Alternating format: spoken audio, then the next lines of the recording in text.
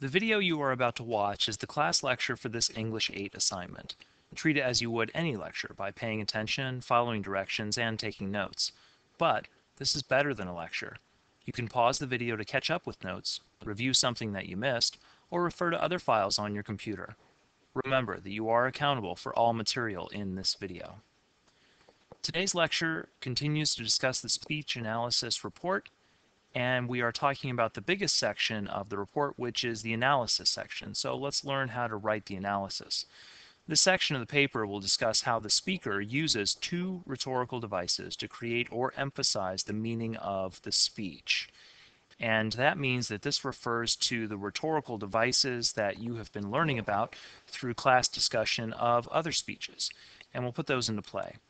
This is the biggest section of the paper and includes the most steps.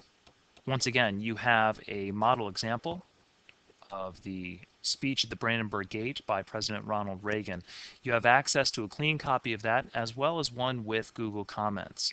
So treat those Google Comments as notes that you can refer to either during this video or after this video to help you understand how to write this step by step.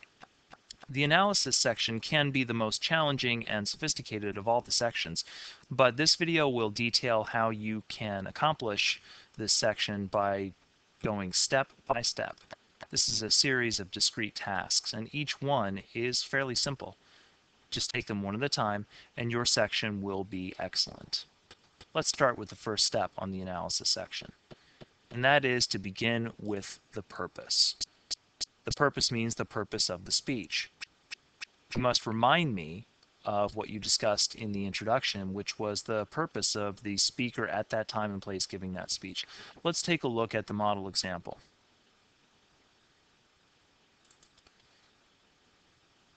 In his speech at the Brandenburg Gate, President Reagan wants his audience to feel unified in their opposition to the Soviet Union. He wishes for every listener to feel that the Allied nations in the West are free and devoted to peace, whereas the Soviets and their allies are tyrannical and devoted to war. If you look at these couple of sentences, you will find that they remind you of the final sentences of my introduction, where I said, in his speech, Reagan sought to unify Western nations against the Soviets and pressure Gorbachev to open his nation to the West. That idea of unification is back here. The idea of opposition against the Soviets is back here. So I have begun by reminding and adding a little bit of detail and flavor to the purpose of the speech that I ended my introduction section with. Should be easy because this is primarily repetition. Let's go to the next step. After I have stated the purpose, I should follow with the rhetorical devices connected to that purpose. Remember that this section focuses on the two rhetorical devices. So after I've reminded my reader of the purpose, I should introduce the rhetorical devices that I will discuss in this section. Again, let's return to the model example. The final sentence of my first paragraph states that Reagan does this through intentional shifts in voice and repetition of key words. I've identified two rhetorical devices in this sentence, voice shifts and repetition. This is something of a thesis statement for this section of the paper. It tells my reader which two devices I will explore when I'm analyzing Reagan's speaking in this particular speech. Notice that the connection of purpose and rhetorical devices composes my first paragraph. So once you've matched those two, you should have written a decent sized paragraph and it's time to break to your first um, development paragraph. And let's talk about how that development paragraph will begin. You should use simple transitions throughout the paper. You will be dealing with two different rhetorical devices, multiple pieces of evidence, and transitions will be very important. So when you look at my model example, you will see that I began with the word first. And you'll see also that in my second paragraph, I begin with the word second. We're not looking for sophisticated or complex transition material here. Just practice using some basic and simple transitions to organize your writing for your reader to make it clear. The next step after a transition is to write a topic sentence that connects the specific device to the purpose. Remember, specific device and purpose have already been established in that first paragraph. So just give me a sentence that connects the two. You might ask why I'm doing this because I did it in the introduction paragraph, but look at the model example. First, Reagan shifts his voice to create a sense of unity in the West, especially in opposition to the Soviets. I've connected one rhetorical device to the purpose, whereas in the introduction, this little paragraph here, I've not specified one of the rhetorical devices.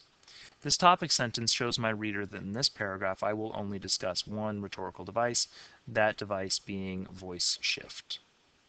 So I've given transition, the word first, and I've given a topic sentence for this paragraph that identifies the rhetorical device that I will discuss and what it accomplishes, the purpose, or what some people might call the impact. Once I have established the topic sentence, it's time to provide an example and uh, that's from the speech, of course. It can be either quotation or paraphrase.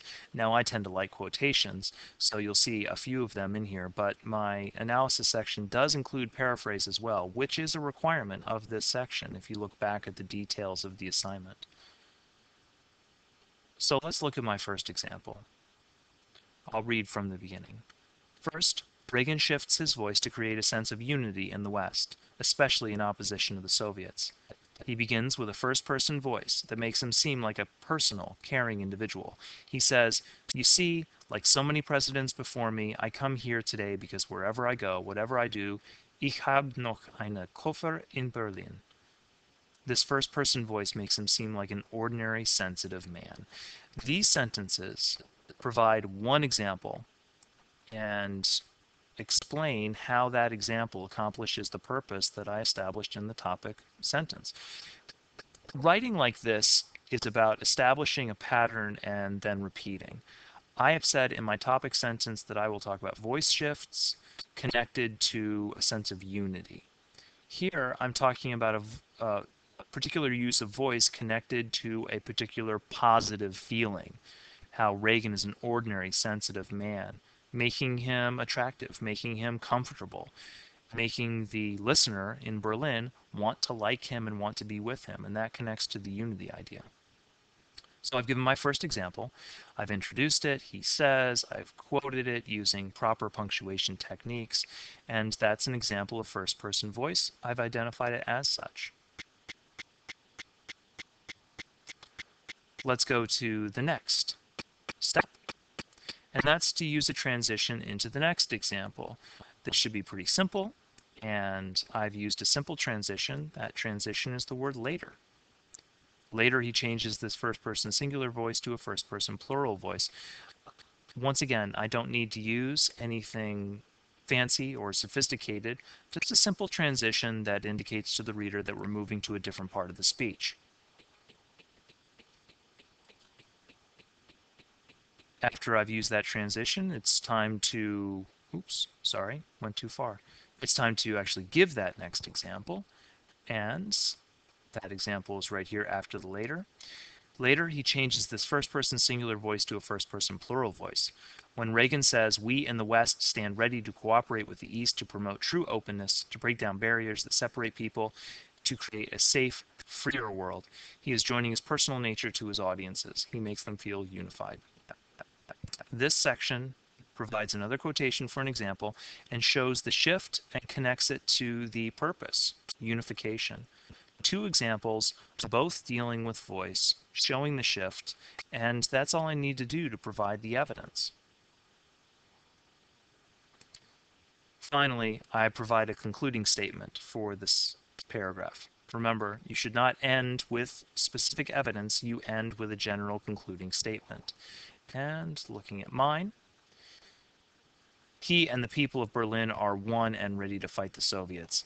My concluding sentence focuses on the purpose, the unity idea, but it doesn't use the word unity. It simply discusses it in different terms, saying they are one.